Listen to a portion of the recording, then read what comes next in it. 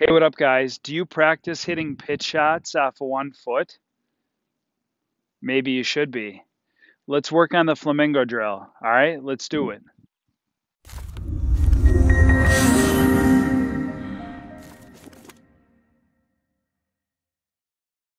All right, so the purpose of the flamingo drill is so that you learn to rotate and control your pivot. All right, so if I'm setting up to hit a shot here and my head's going down or I'm getting a big sway, that's not good for contact and I'm not going to control turf interaction.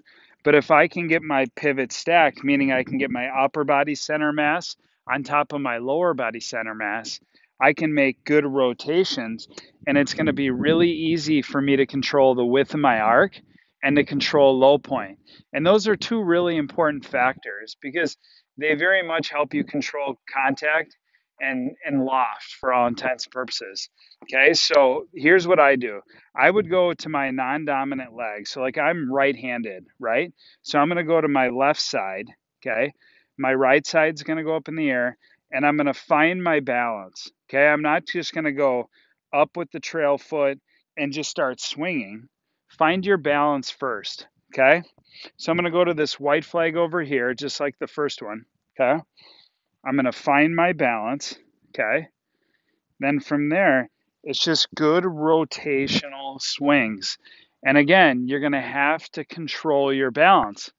Okay, and this is really important because the balance is what keeps your pivot stacked. Okay, so let's do this. Let's hit a couple. Okay, so not bad, good solid contact. Let's progress from there. Let's see if we can control distance a little bit better. So let's control speed. Okay.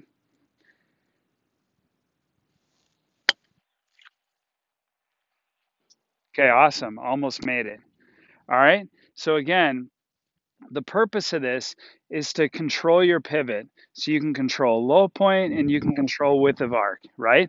That's going to help you hit it solid and help you control loft.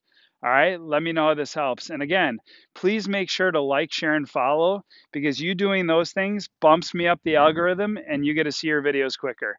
All right, thanks for watching. We'll see you in the next video. Peace.